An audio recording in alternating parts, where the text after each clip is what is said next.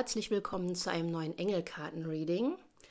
Beziehungsweise dieses Mal machen wir etwas Besonderes. Wir machen wieder eine Wochenendbotschaft. Ähm, leider war ich jetzt sehr lange krank und konnte keine Wochenbotschaft aufnehmen.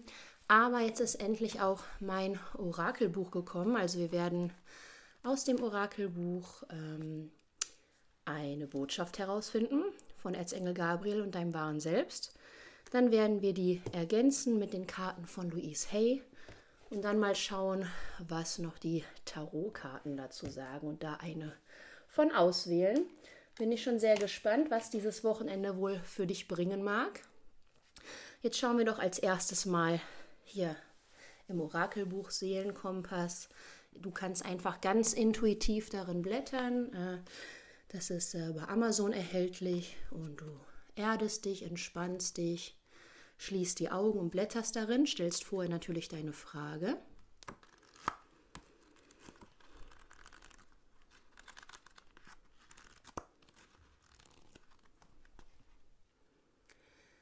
Wow. Und dann schlägst du auf und schaust, wo dein Blick hinfällt. Da wartet etwas Tolles Neues auf dich. Hier sehen wir eine Bilderbotschaft und hier ein Text dazu. Erstmal, der erste Teil ist von deinem wahren Hören selbst und dann von Erzengel Gabriel. Ein Umzug steht bevor. Es gibt einen besseren Ort für dich, wo du dich mehr entfalten und ausleben kannst. Du darfst mehr wollen und dich auch räumlich mehr ausdehnen. Du verdienst es. Wenn du gerade unzufrieden mit deinem Heim bist, dann verändere deine Ansicht darüber. Sieh es in optimalem Licht, dass alles funktioniert und auch, wenn es noch nicht dein Traum zu Hause ist, dann sei trotzdem dankbar, dass du ein Dach über dem Kopf hast. Der Rest wird sich ergeben. Ganz, ganz wichtig, je mehr man über sein Zuhause meckert, desto mehr ja, Negatives passiert dann natürlich auch. Dann geht die Waschmaschine kaputt, dann die Spülmaschine, der Herd, der Kühlschrank, wie auch immer. Die Nachbarn nerven oder sowas. Es ist ganz wichtig, auch wenn das nicht dein Traum zu Hause ist und du mal umziehen willst, dass du wirklich ähm, trotzdem ja dein Zuhause, wo du jetzt aktuell wohnst, in Licht und Liebe siehst und äh, positive Energie dahin sendest, äh, weil nur dann wirst du auch wieder was Tolles Neues finden. So, was sagt jetzt Engel Gabriel? Wir helfen dir bei jeglichen Veränderungen und auch dabei, deinen perfekten Wohnort zu finden. Lass uns dich führen und sei gespannt, welche kreativen Wege wir finden, um dich zu deinem neuen Heim zu führen. Es wird toller, als du dir je vorstellen konntest. Wir regeln auch die Kosten. Dies ist deine Botschaft, dass du dir dein Heim immer leicht und pünktlich leisten kannst. Also das ist doch super spannend. Umzug, naja, vielleicht ist das bei dir auch nicht genau auf dein Zuhause bezogen, sondern, keine Ahnung, es gucken ja auch viele Reiterleute zu, Stallumzug oder äh, sonst eine Veränderung in deinem Leben, die aber entscheidend ist. Wobei ich finde, das hier ist schon sehr deutlich aufs Heim bezogen. Vielleicht steht das auch für Weihnachten an. ähm, vielleicht verwirklichst du endlich deinen Traum vom Eigenheim, ziehst aufs Land, äh, keine Ahnung, bist Selbstversorger. Vielleicht aber wünschst du dir auch eine tolle Stadtwohnung, wo das Leben pulsiert, wo du viel unternehmen kannst. Also ganz, ganz spannend. Da scheint dieses Wochenende sich etwas zu entwickeln für dich.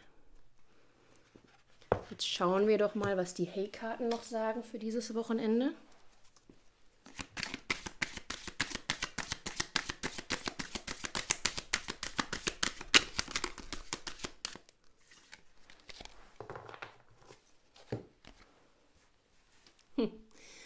Meine Zukunft ist wunderbar. Ich lebe jetzt in grenzenloser Liebe und Freude. Alles ist gut in meiner Welt. Also das hört sich doch nach einem tollen Wochenende an. Erstmal das mit dem Umzug, dass etwas Tolles, Neues, noch Besseres auf dich wartet. Deine Zukunft wunderbar ist dort. Also es scheint jetzt Mitte März äh, ziemlich coole Veränderungen in deinem Leben zu geben. Sehr, sehr spannend. Und äh, dann wollen wir doch mal schauen, ob noch eine Tarotkarte dazu passt, was für dich anliegt dieses Wochenende.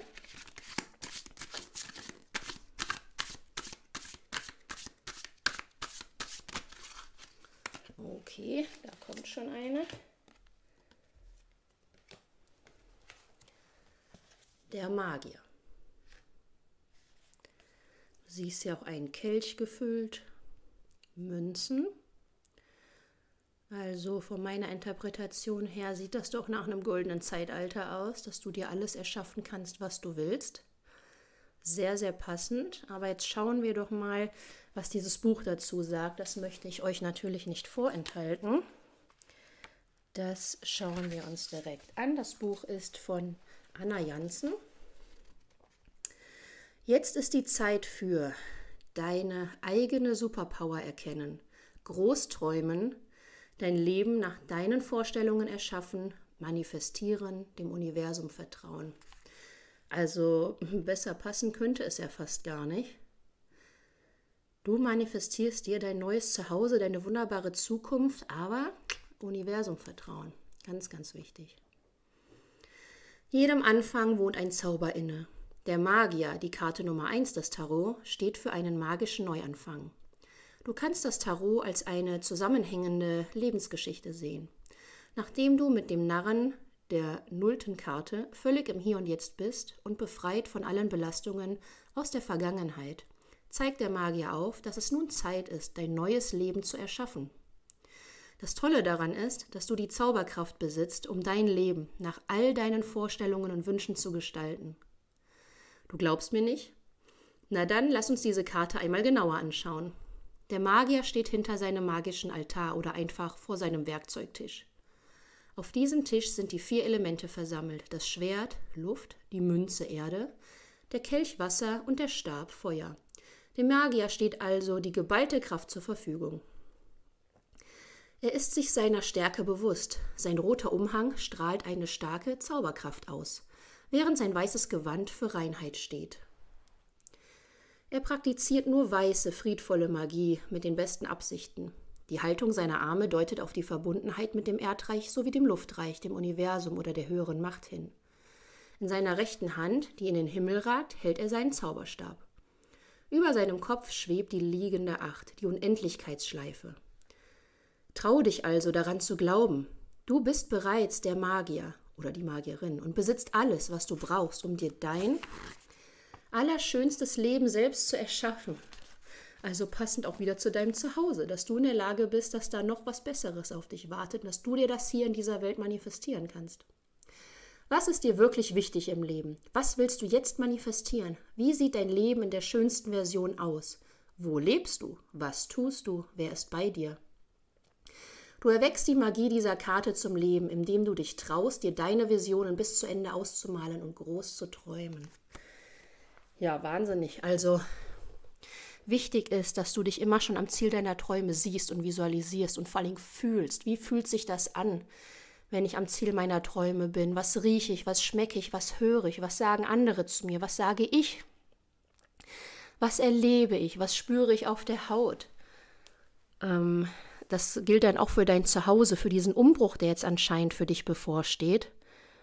Der März, der Frühling, der jetzt kommt, neues Leben, das erwacht, ähm, die Kraft der Natur, die Fülle, die sich wieder zeigt, die Zeit der Veränderung nach dem Winter, wo alles quasi ja auf Null gegangen ist, jetzt wieder das Neue, was sprießt und für dich auch ein neues, wunderbares Zuhause, ein neues Leben und du kannst das.